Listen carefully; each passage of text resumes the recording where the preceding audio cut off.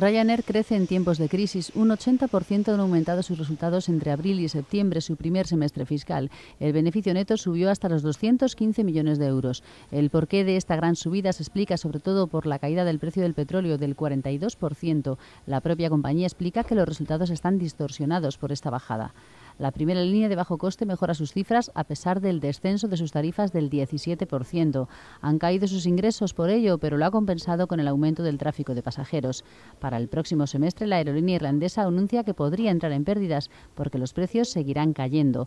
Así todo, según el comunicado de Ryanair, la compañía está bien posicionada para aumentar beneficios en cuanto Europa salga de la crisis económica.